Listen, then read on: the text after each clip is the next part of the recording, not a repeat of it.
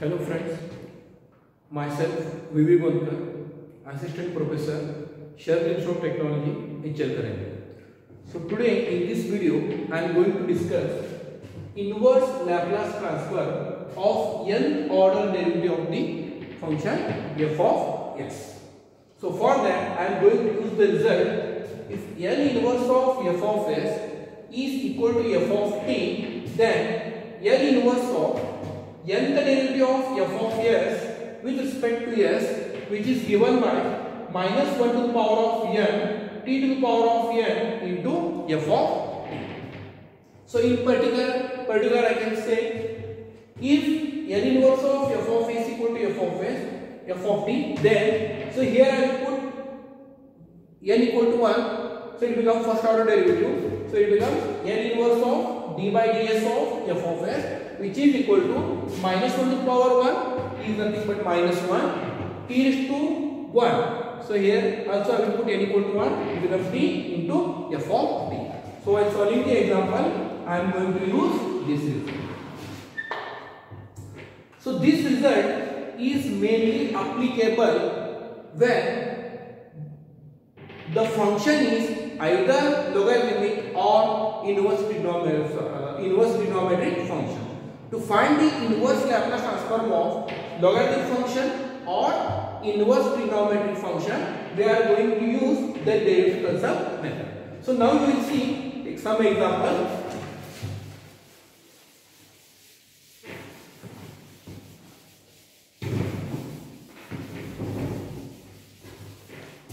So find first example. Find L inverse of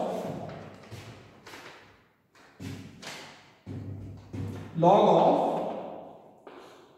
s plus 1 upon s minus 1. So we can observe here we are not having any formula to, for, for log of s plus 1 upon s minus 1.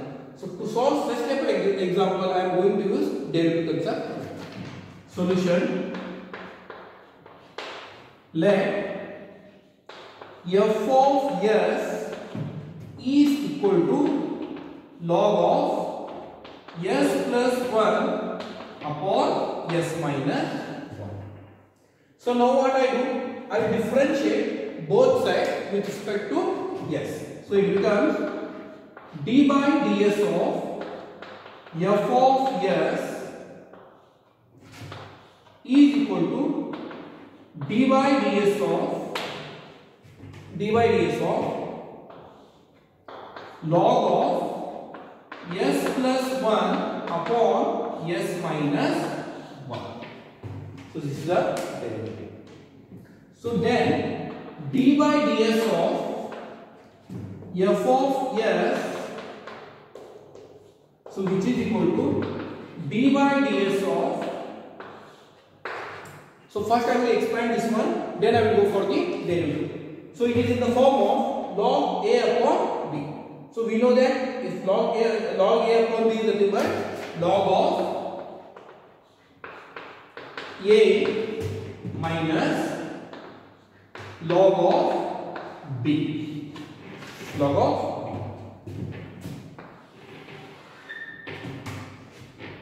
therefore d by ds of f of s is equal to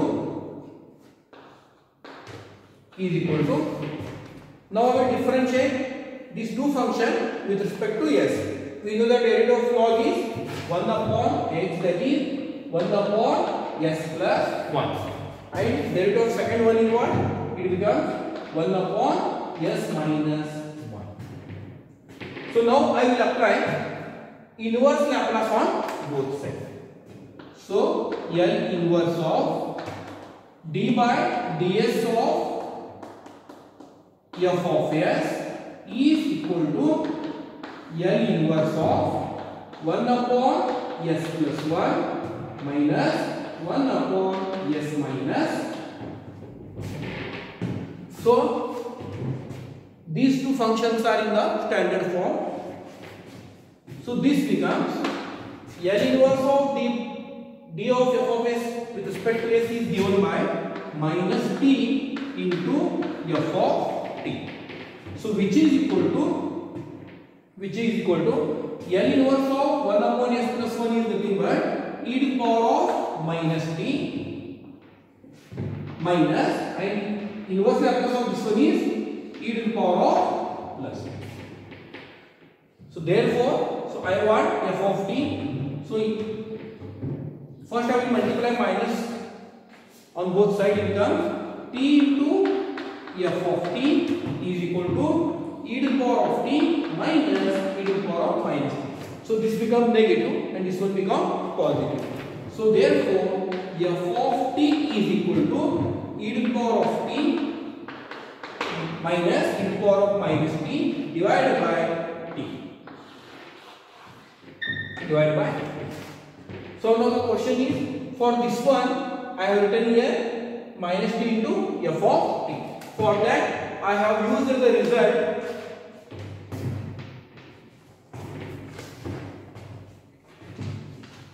So I will write here the result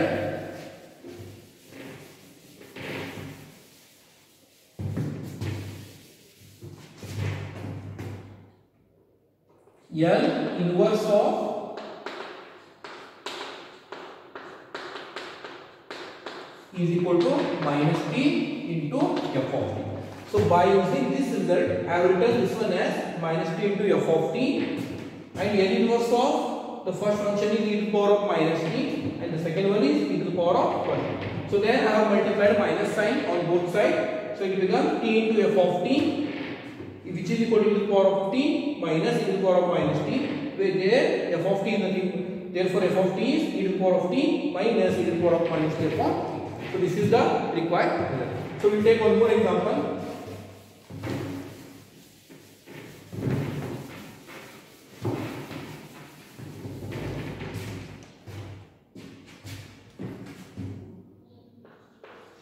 Find L inverse of L inverse of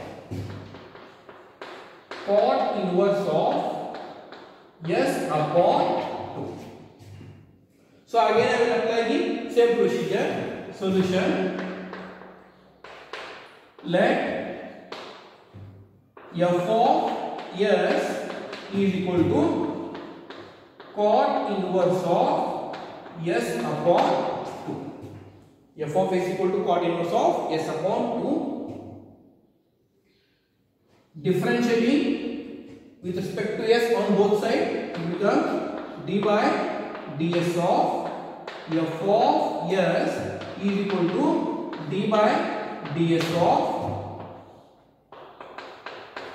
cot inverse of s upon 2 therefore d by ds of f of s is equal to we know that derivative of cot inverse of x is nothing but minus 1 upon x square plus 1 so this is s square upon 4 plus 1 so derivative of cot inverse of x is minus 1 upon x square plus 1 so treat this one as then so now we have we have taken the derivative of cot inverse. The remaining is here s upon 2. Derivative of s upon 2 is nothing but 1 upon. Therefore d by ds of f of s is equal to is equal to so here I will take LCM so it becomes minus LCM is there 4. So S square it become 4 and I will take this 4 to numerator. This become minus 4 upon S square plus 4 into 1 upon 2. I will write LCM. Once again I will write. Here I have taken the LCM. 4 into 1 4. This become S square plus 1 upon square plus 4 upon 4. So I have taken this 4 to numerator. So therefore d by ds of f of s is equal to 2 and 2 get cancelled here. So remaining is minus 2 upon s square plus. So now I will apply inverse Laplace on both sides. It becomes यह inverse of D by D S of F of S is equal to L inverse of two upon S square plus two upon square plus so already we know that L inverse of d by ds of f of s is nothing but minus t into f of t. So which is equal to here 2 is constant. So remaining is here L inverse of 1 upon s square plus 4. So here it is in the form of what? L inverse of 1 upon s square plus a square is equal to 1 upon a sine a into t. So therefore it becomes L inverse of 1 upon s square plus 2 square is equal. So here I have forgotten to write minus sign. So it is what minus because here we are having minus minus. So this one becomes 1 upon 2 sine 2 into t. So L inverse of 1 upon s square plus s square is 1 upon a into sine 2. So minus sign minus get cancelled. 2 and 2 get cancelled here. Therefore f of t is equal to sine 2t divided by t. So this is what our required answer. So this is the second problem on uh, derivative. Now I will take one more example.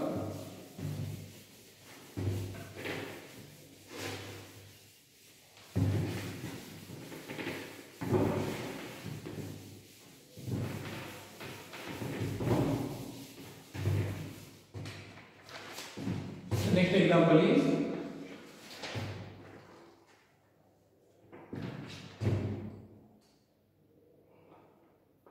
find L inverse of cot inverse of S plus 3 upon 2. So this is the important example. Solution. So let us consider f of s is equal to cot inverse of s plus 3 upon 2. So differentiating with respect to s on both sides, I will get here d by ds of f of s is equal to d by ds of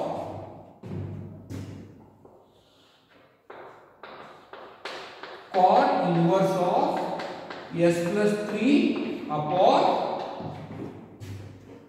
So d by ds of f of s is equal to so derivative of this one again derivative of cot inverse of x is nothing but minus 1 upon x square plus 1 that is s plus 3 whole square upon 2 square is 4. 1 upon x square plus 1 treat this one as some x into derivative of s plus 3 upon 2 is nothing but 1 upon 2 because derivative of s with respect to s is 1 this one is 0 remaining is 1 upon 2. So now I will simplify this one t by ds of f of s is equal to again sorry have, here I have done a small mistake. D by ds of cot inverse of x is nothing but 1 upon x square plus 1 so here I have to write 1 1 upon minus 1 upon x square plus 1 so d by ds of this one. Now I will take LCM here. LCM is 4.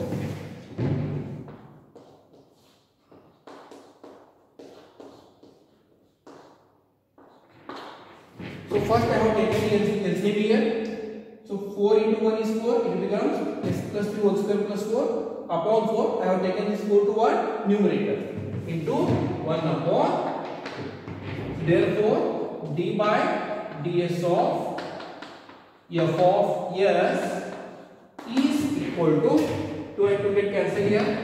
Remaining is minus 2 upon s plus 3 square plus so as similar to previous example now I will apply L inverse on both sides L inverse of d by ds of f of s is equal to L inverse of here 2 is constant I will write outside the Laplace inverse L inverse of 1 upon s plus 3 square plus 2 square I will write this one as what 4 2 square so now so L inverse of d by ds of f of s is given by minus p into f of t so minus so here I will apply shifting property, first shifting property. So as per the first shifting property it becomes e to the power of minus 3t L inverse of remaining is here 1 upon s square plus 2 square. So s plus 3 whole square I have applied shifting property and I have taken e to minus 3 minus 3t outside the inverse.